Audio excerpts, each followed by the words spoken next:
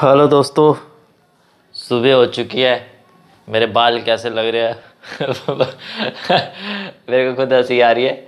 ये बालों का स्टाइल काफ़ी यूनिक है दोस्तों। ये बालों का स्टाइल ऐसे ही नहीं बनाया और काफ़ी जानदार और शानदार है। इसमें कम से कम दो लाख रुपए लगे इसको सेट करवाने के लिए। ये बालों को, ये मुर्गा बनाया उसने। कम से कम दो लाख रुपए लगे। और अभी ये सुबह हुई है तो मॉर्निंग का टाइम है दोस्तों।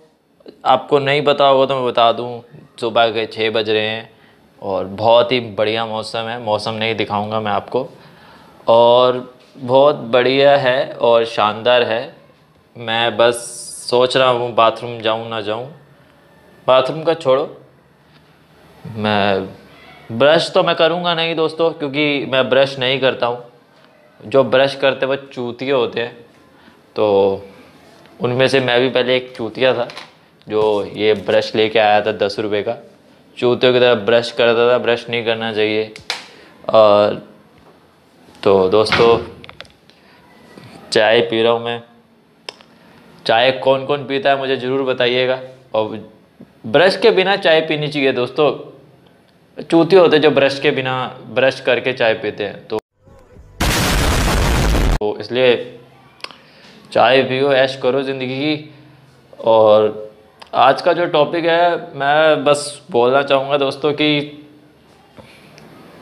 आजकल ना बॉडी बड़ी दर्द हो रही है मेरी।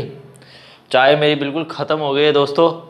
मज़ा आ गया चाय पी के। मैंने खुद ने बनाई है और पहले मैं चाय का काम भी करता था तो एम चाय वाला मेरे से ही इंस्पायर हो गया उसने एम चाय वाली का ये खोला है धंधा। तो बस मैं ये बोलना चाहूँगा कि आज का जो टॉपिक है मेरा बॉडी में बड़ा दर्द हो रहा है तो मैं बॉडी में दर्द होते हुए मैं चाहता हूँ कि यार क्यों ना मसाज करवाई जाए यू नो मसाज करने के लिए किसी को बुलाया जाए या फिर कुछ जुगाड़ लगाया जाए कि जिससे बॉडी पेन दूर हो जाए।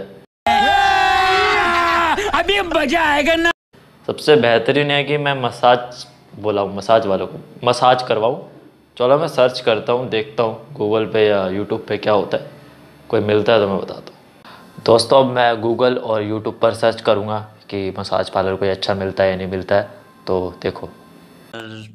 आता है इंडिया मसाज पार्लर तो ये आ चुका है, देखो। काफ़ी जानदार, देखो ब्यूटी ब्यू parlour therapy body full massage वो टॉप बॉडी मसाज तो दोस्तों, ये काफ़ी महँगे लग रहे हैं। कुछ ये दो हज़ार, पाँच सौ, पाँच हज़ार वाले लग रहे हैं। हमको चाहिए कोई सौ, डेढ़ सौ वाला। तो गूगल पे तो बहुत ही ज़्यादा महँगा है तो हमें लगता है कि चेंज कर देना। यूट्यूब पे सर्च करते हैं। ठीक है दोस्तों।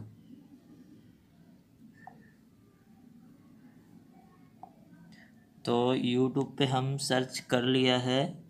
ये देखिए, मसाज प्रैंक ऑन भाभी।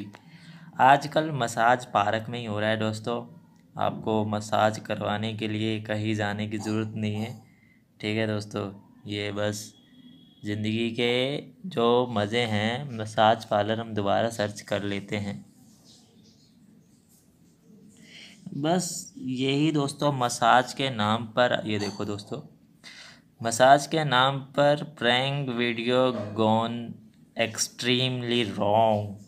तो दोस्तों, ये रॉन्ग नहीं है, ये पाँच सौ रुपये की दिहाड़ी है, लड़की की बन चुकी है और इन्जॉय कर चुका है लड़का।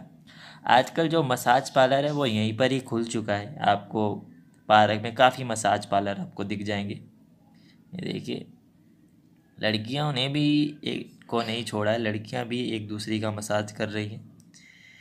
तो मसाज करने के लिए आपको मसाज पार्लर जाने की ज़रूरत नहीं है। आप पार्क में जाओ, आपको बहुत सारी मसाज करने को मिलेगी। तो यही मैं मसाज की बात कर रहा था। आपको थाईलैंड वगैरह जाने की ज़रूरत नहीं पड़ेगी, पहले मैं सोच रहा था कि थाईलैंड जाऊँ।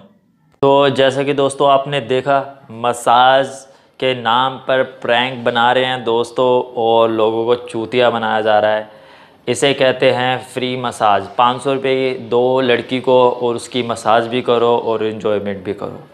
तो मैं तो अपनी थकान की बात कर रहा था और यहाँ पर तो मुझे कुछ और ही दिख गया। और ये बात ये है कि पहले मैं थाईलैंड जाने का सोच रहा था कि थाईलैंड जाऊँ। बट पाँच सौ छः सौ रुपये में थाईलैंड नहीं जा सकते तो दोस्तों पासपोर्ट भी बनवाना पड़ेगा।